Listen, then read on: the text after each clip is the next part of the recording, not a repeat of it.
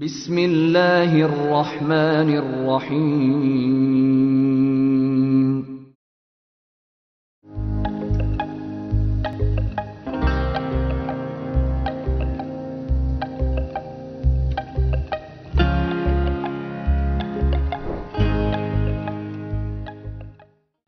আসসালামু আলাইকুম। সবাই কেমন আছেন? নিশ্চয়ই ভালো আছেন, আমিও বেশ ভালো আছি। আমি অভিরূপ বরাবরের মতো ইকরার রান্নাঘর থেকে আজকেও আপনাদের জন্য মজার দুটো রেসিপি নিয়ে হাজির হয়েছি।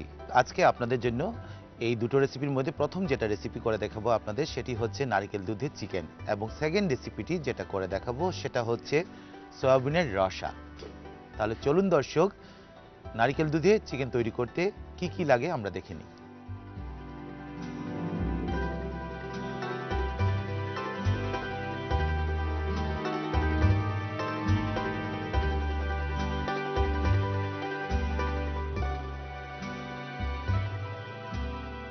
দর্শক, উপকরণ তো দেখে নিলেন। চলুন এখন রান্নায়। আমরা প্রথমে একটা ফ্রাই প্যান নিয়েছি। স্টোভটা জ্বালিয়ে দিলাম।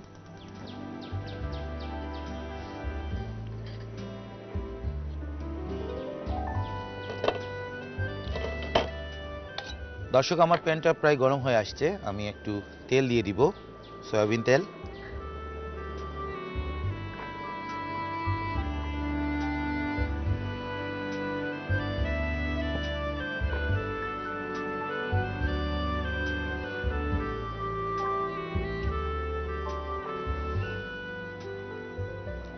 দর্শক, তেল গরম হয়ে আসছে। আমি এখানে দুটো তেজপাতা নিয়েছি। আমি এটা চিড়ে দিয়ে দিব।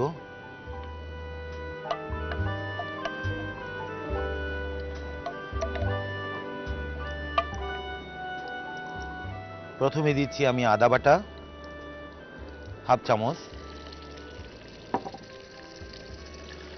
রসুন বাটা, এক চামচ।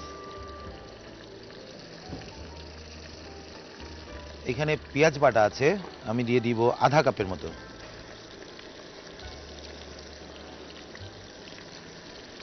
আমি পুরো আধা কাপ দিয়ে দিলাম। আপনি চাইলে মেজারমেন্ট কাপে আধা কাপ দিতে পারেন।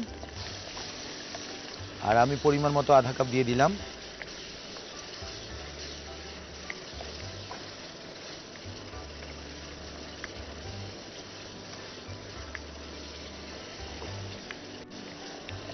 দর্শক আমি এখানে কারি পাতা রেখেছিলাম। আমি এখানে সাত আটটি কারি পাতা দিয়ে দিলাম।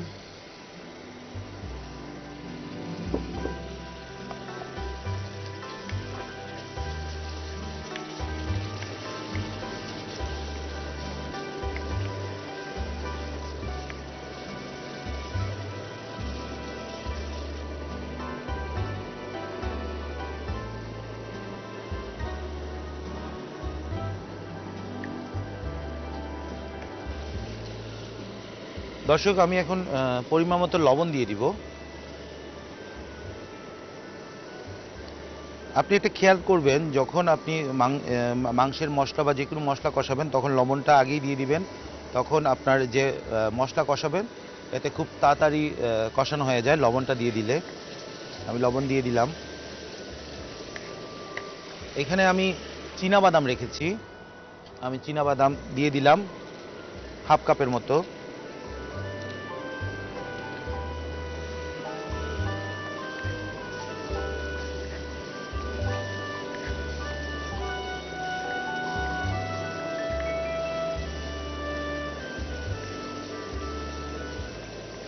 দর্শক, এখানে যেহেতু আমি নারিকেল দুধ দিয়ে চিকেন রান্না করছি, নারিকেল দুধের কালার যেহেতু সাদা, তো আমি আসলে আজকে রেসিপিটা আমি একটু সাদাই রেখেছি। এখানে কোনো হলুদ বা মরিচ ব্যবহার করিনি। আপনি চাইলে করতে পারেন বাট আমি আমার মতো করে রান্না করেছি, অবশ্যই বাসায় ট্রাই করবেন। আর সেটার কারণটা হচ্ছে আসলে নারিকেল দুধ তো মানে দুধের গন্ধটা রান্নার পরে পর্যন্ত থেকে যায়, নারিকেল দুধের। তো এখানে আমি আসলে হলুদ মরিচ দেওয়া হয়নি এই কারণে যে আসলে পুরোপুরি নারিকেল দুধের ফ্লেভারটা পাওয়ার জন্য। দর্শক, আমি এখন এখানে চিকেন সাতশো গ্রাম আছে, টুকরো করা, আমি পুরোটাই দিয়ে দিব।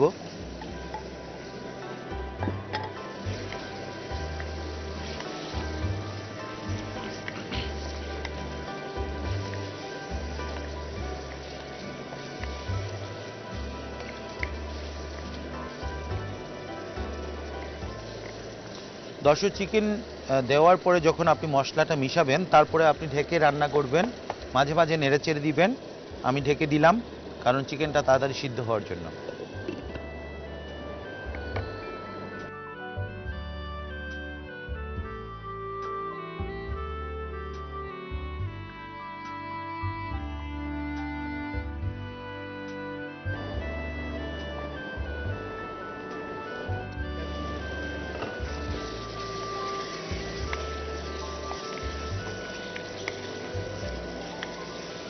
দর্শক, আমি যেটা বললাম, নাড়াচাড়া কারণটা হচ্ছে আপনি মাঝে মাঝে নাড়াচাড়া করবেন যেন তলায় যেন না ধরে মশলাটা।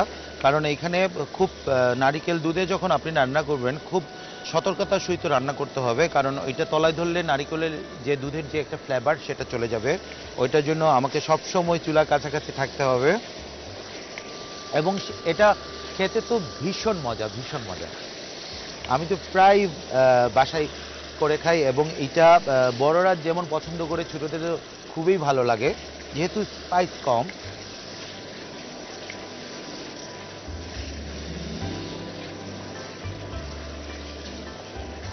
দর্শক, আমার প্রায় মাংসের সাথে মশলার কষানো প্রায় হয়ে আসছে। এখন আমি নারকেল দুধ দিয়ে আরও কষাবো।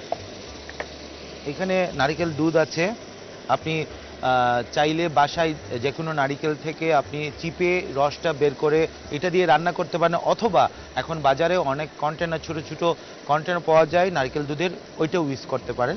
তবে আমি আজকে এখানে কন্টেনারের দুধটা ইউজ করছি। আর নারিকেল দুধটা দিয়ে দিলাম। আমি এখানে আধা কাপের মতো দিয়ে দিলাম।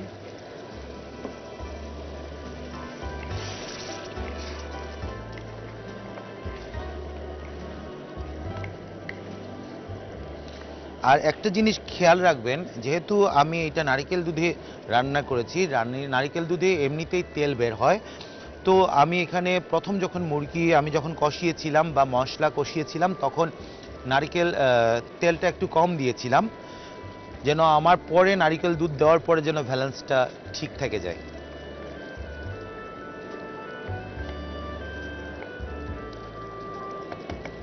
দর্শক আমি এটা ঢেকে রান্না করব পাঁচ থেকে সাত মিনিটের জন্য।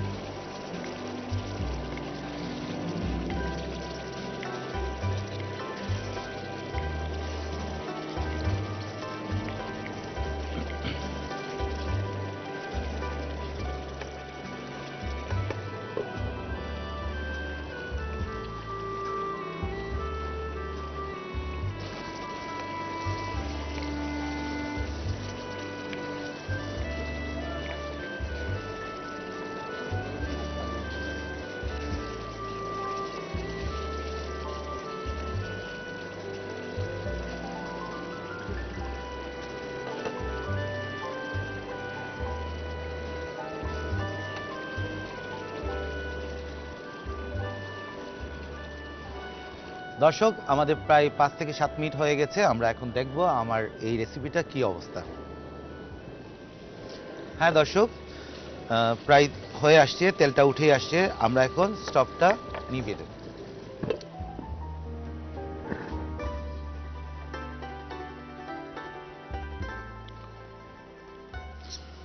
দর্শক, এখন পরিবেশনের পালা। আমরা একটা পরিবেশন পাত্র নিয়েছি।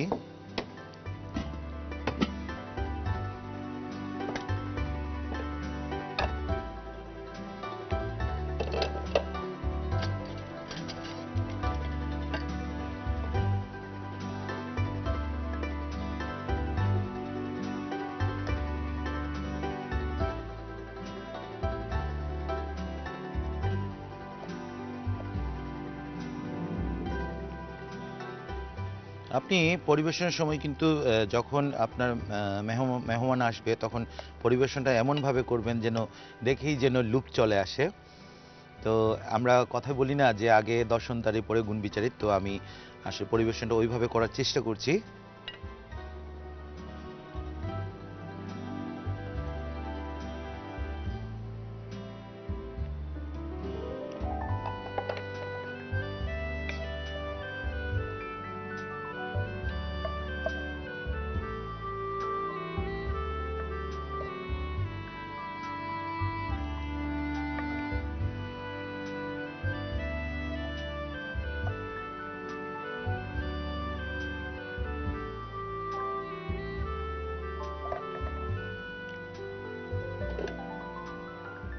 হ্যাঁ দর্শক, এখন আপনার সব শেষে আপনি যখন পরিবেশন করবেন, তারপরে আপনার শুকনো মরিচ গুঁড়ো, ভাজা গুঁড়ো যেটা আমি এটা উপরে ছিটিয়ে দিলাম, তখন কি হয়?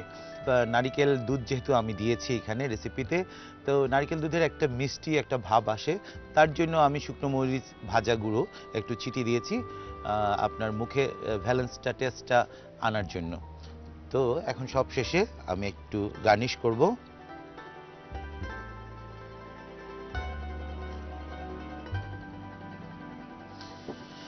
দর্শক, হয়ে গেল আমার মজাদার নারকেল দুধে চিকেন। অবশ্যই বাসায় ট্রাই করবেন।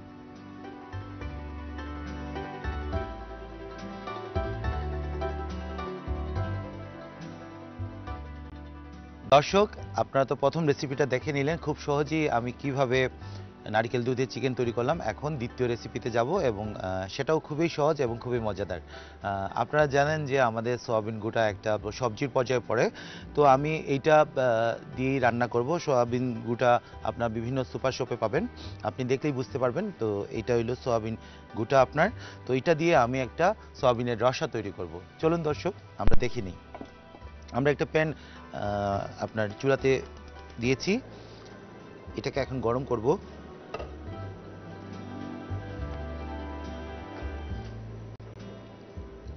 আপনি কখন বুঝবেন দর্শক যে আপনার পেন গরম হয়ে গেছে? মাঝে মাঝে এই হাত দিয়ে এইভাবে দিয়ে দিলে একটা তাপ নিচ থেকে উঠে আসবে, তখনই বুঝবেন যে আপনার অলরেডি প্যান গরম হয়ে গেছে। তো আমার প্যানটা প্রায় গরম হয়ে আসছে। আমি এখন এখানে সয়াবিন তেল দিয়ে দিব।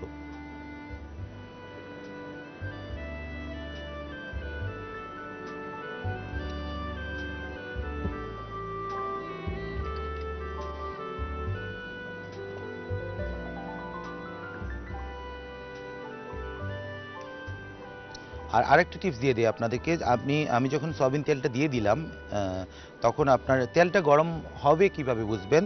তখন আপনার প্যান থেকে তেলের উপরে একটা বুদবুদ শব্দ মানে দেখতে পাবেন আপনারা। তখনই বুঝবেন যে আপনার তেলটা গরম হয়ে গেছে। দর্শক, আমার তেল অলরেডি গরম হয়ে গেছে। আমি এখানে প্রথমে কি করব? আমি তেজপাতা আছে, তিনটা আমি দিয়ে দিব এখানে। এখানে পেঁয়াজ বাটা আছে, আধা কাপের মতো দিয়ে দিব। পেঁয়াজ বাটা আধা কাপের মতো দিয়ে দিলাম। এখানে আছে রসুন বাটা। এটা আমি দু চামচের মতো দিলাম। আছে আদা বাটা। আমি এক চামচের মতো দিয়ে দিলাম।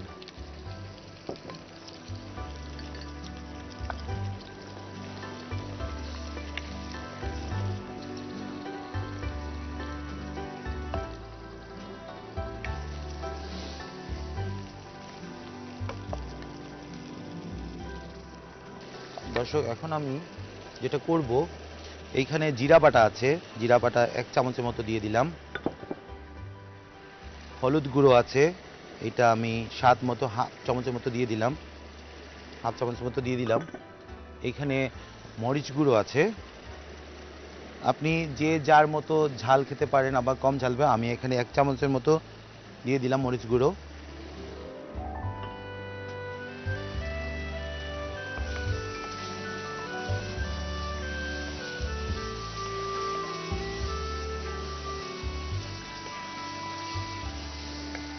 দর্শক, এখানে আমি গরম মশলা রেখেছি, গুঁড়ো করা। এটা আমি পুরো এক চামচের মতো দিয়ে দিলাম।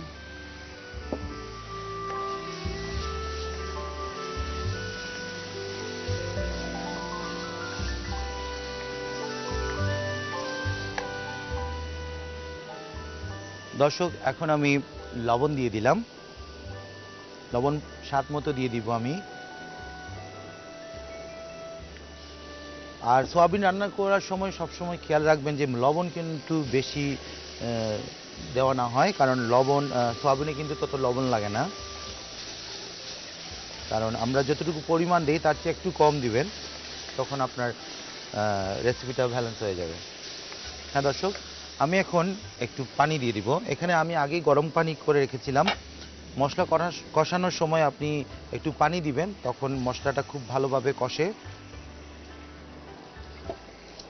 আবার আরেকটা কথা হলো, পানি না দিলে আপনার মশলাটাও পুড়ে যাবে, মশলার যে ফ্লেভারটা সেটাও চলে যাবে।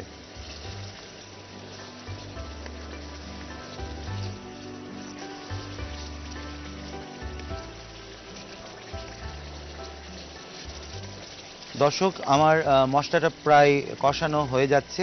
আমি এখন কি করব? আমি সয়াবিন গুঁটাগুলো দিয়ে দিব। এইটা আপনি সয়াবিন বাজার থেকে কেনার পরে অবশ্যই এটা পানিতে ভিজাবেন। একটু উম গরম পানি হলে ভালো হয়।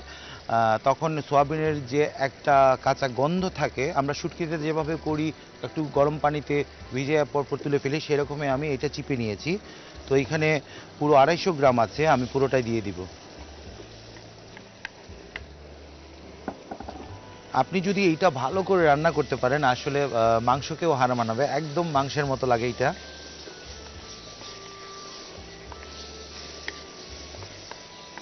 আর এইটা অনেক দিন ধরে আপনি সংরক্ষণও করতে পারেন, বাজার থেকে কিনে আপনি বাসায় রাখতে পারবেন, ফ্রিজের কোনো দরকার পড়বে না, এটা ড্রাই পাওয়া যায়।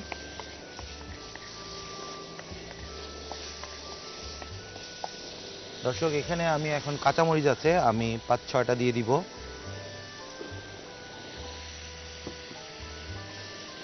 ধনে পাতা কুচি আছে, এটা দিয়ে দিব। আর দর্শক সাথে আমি শুকনো মরিচ গুঁড়া করে রেখেছিলাম ভাজা। এটা দিয়ে দিব।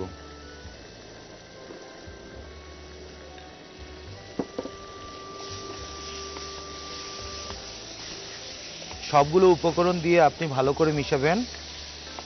একদম ভালো করে যেন মানে প্রপারলি আপনার কষানো হয়। তারপর পানি একটু দিয়ে আমি আবার দমে রান্না করব সেটা।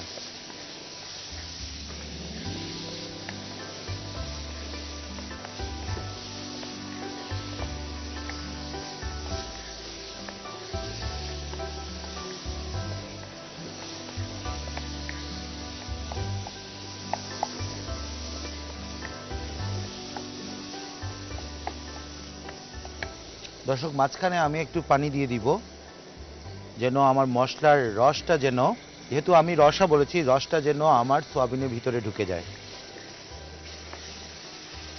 এইভাবে পানি একটু একটু দিয়ে আমি কষাবো। যতক্ষণ পর্যন্ত আমি রান্না করব, ততক্ষণ আমি দেখব যে আমার যে রেসিপি রান্না করছি ততক্ষণ পর্যন্ত যেন তেল উপরে উঠে না আসে। তো আমার আস্তে আস্তে তেলটা যে রেসিপি রান্না করছি সেটার তেলটা উঠে আসছে। আমি আরেকটু পানি দিয়ে আবার কষাবো। এইভাবে আপনাকে কয়েকবার করতে হবে।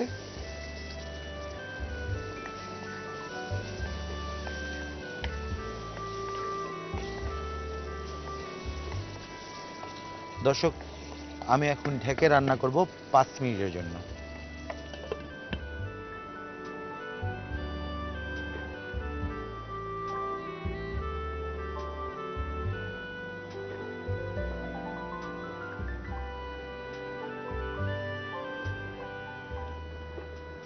দর্শক, আমার প্রায় পাঁচ মিনিট হয়ে গেছে। আমি দেখি আমার এই রেসিপি কি অবস্থা। দর্শক, প্রায় হয়ে আসছে এবং তেল উঠে আসছে। আর দেখতেও ভীষণ সুন্দর কালার আসছে। মনে হচ্ছে এখনই মানে খাব আমি। তো আপনারাও অবশ্যই টিভি সিটের সামনে দেখতে পাচ্ছেন যে খুবই একটা সুন্দর রেসিপি আজকে আমি আপনাদের জন্য উপহার দিয়েছি। তো আমি এইটারে আরেকটু কষাবো। তারপর নামায়া পরিবেশন করব। দর্শক, আমার রান্না প্রায় শেষ। আমি এখন স্টপটা নিভিয়ে ফেলব ঢাকনা দিয়ে।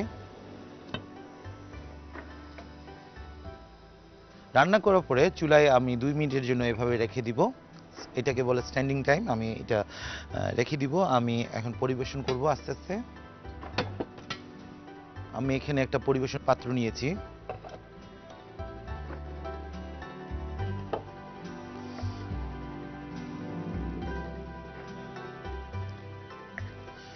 দর্শক, আপনি চাইলে এটা গরম গরম ভাতের সাথে খেতে পারবেন, নতুবা আপনি চাইলে পরোটার সাথেও খেতে পারবেন। খুবই হেলদি একটা এটা ফুড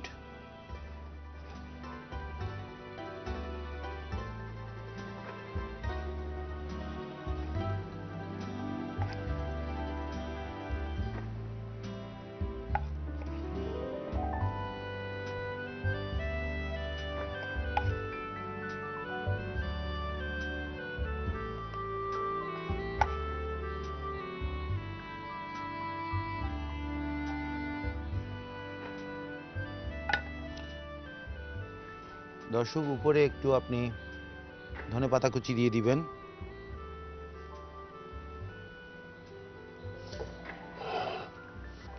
হ্যাঁ দর্শক, খুব সহজেই ঝটপট তৈরি করে ফেললাম মজাদার সয়াবিনের রসা।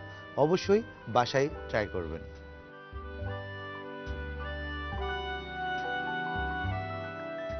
দর্শক খুব সহজেই আজকে ইকরা রান্নাঘর থেকে দুটো রেসিপি আপনাদের তৈরি করে দেখালাম। অবশ্যই বাসায় ট্রাই করবেন। আমি যে প্রথম রেসিপিটি তৈরি করেছিলাম, সেটা হচ্ছে নারকেল দুধের চিকেন এবং দ্বিতীয় রেসিপিটি যেটা তৈরি করেছি, সেটা হচ্ছে সোয়াবিনের রসা। তাহলে দর্শক, আগামী পর্বে নতুন দুটো রেসিপি নিয়ে হাজির হচ্ছি ইকরা রান্নাঘরে। সবাই ভালো থাকুন, সুস্থ থাকুন, ইকরা রান্নাঘরের সাথেই থাকুন।